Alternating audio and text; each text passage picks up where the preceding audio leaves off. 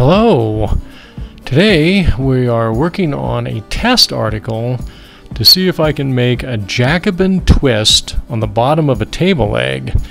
So I'm taking an old piece of scrap 2x2 oak to make the test article. And the first, since we're going to put it on the lathe, the first thing we're going to do is mark out the dead center of the test article wood, the scrapper, and to make sure that it is the, the there are two small holes on each end that are dead center to keep that thing from wagging around on the lathe. Nothing annoys me more than having a piece of wood on the lathe. So I'll take a 16th inch bit and drill a pilot hole on each end.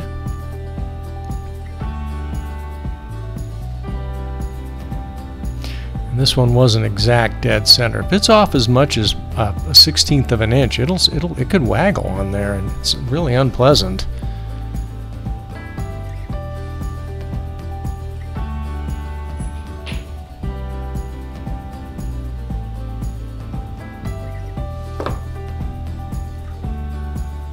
Now I grab a 3 16 inch bit to make the final hole. Doesn't have to go in very far, maybe just a quarter of an inch.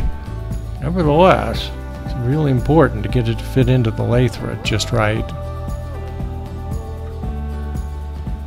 Now we take it over to the lathe and fit it in.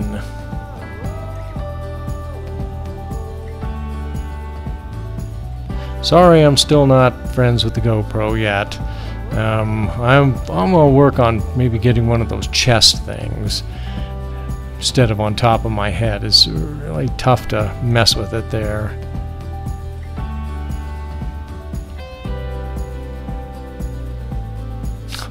Kind of got a little confused here, but then we need to mark off uh, about three inches because there needs to be a square because it's going to replicate the rest of the leg. Only the bottoms are going to have the Jacobin twist. They take the old transfer square, mark it so that we don't round off too much so that it simulates the table legs.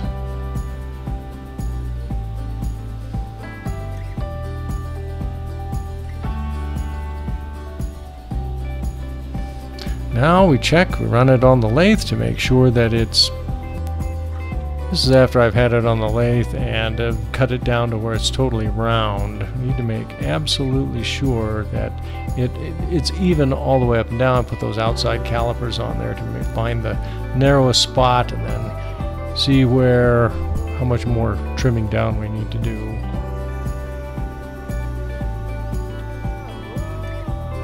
Oh, still a few places here that's a little too wide. Don't like that. Need to check it. After we've done that, we've got it pretty even, then take it in sandpaper because it needs to be smooth because we're going to mark this part out. So we take the width and take it to the ruler and measure it. It's one and three quarter inches for total round. Now we need to mark out one and three quarter inch markings on here so that that's how many twists we're going to put in. Five, one and three quarter inch markings. So go ahead and mark them around.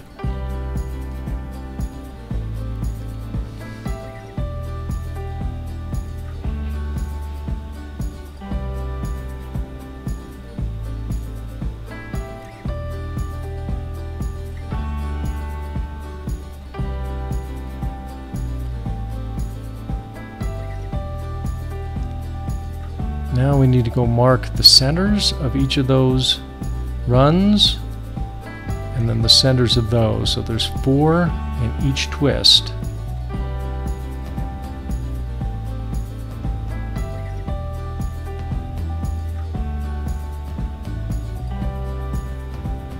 Just like that and then highlight the original ones and make sure they're dark enough that you can tell where they're at.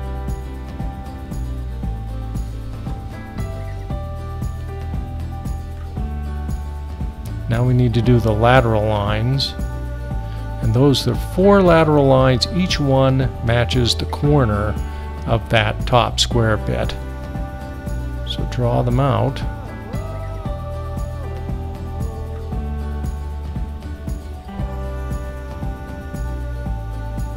all the way around. Make sure they're, they're, they match the corners of that top block.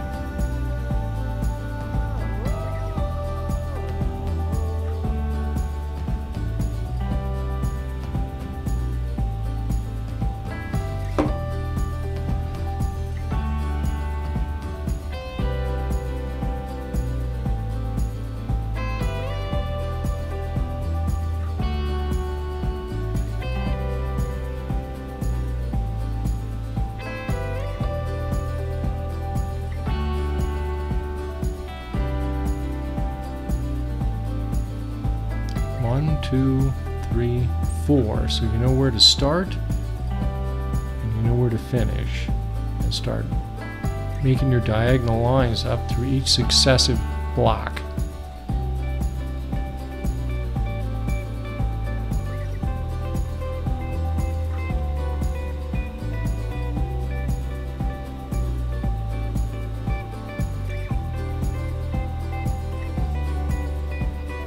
Ends on 1 and you started on 4. Darken them up to make sure you can get them all nice and be seen. Now we take a saw and cut a groove along that diagonal line.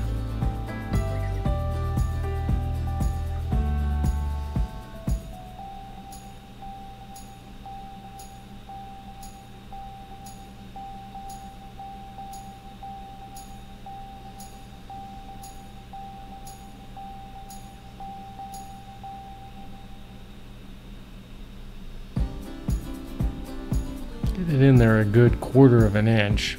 You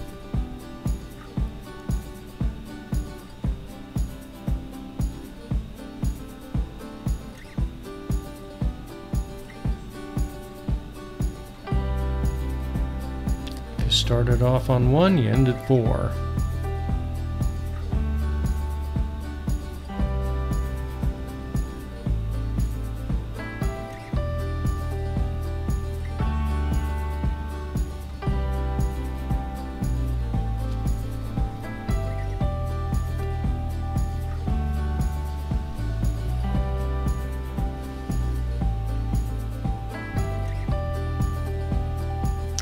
Now we grab our set of rat tail files.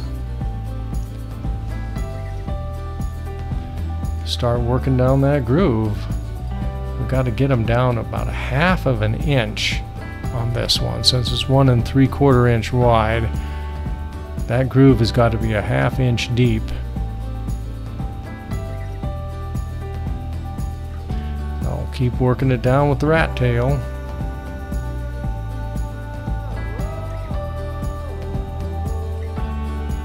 This can be rather exhausting work. The first little bit of this can be quite difficult. I mean, just physically beating you up. But it feels good to work, you know. But it, it can be quite tedious and it is a lot of work.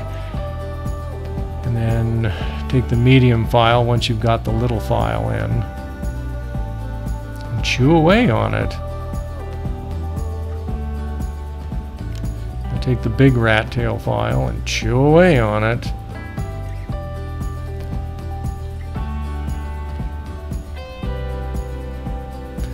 We're just about done for today. Um, tomorrow we'll do some more of this, be using some different tools perhaps. And then I like to go back to using the small rat tail file to cut it in deep. And then use the medium and then the large rat tail files to keep widening the, that groove.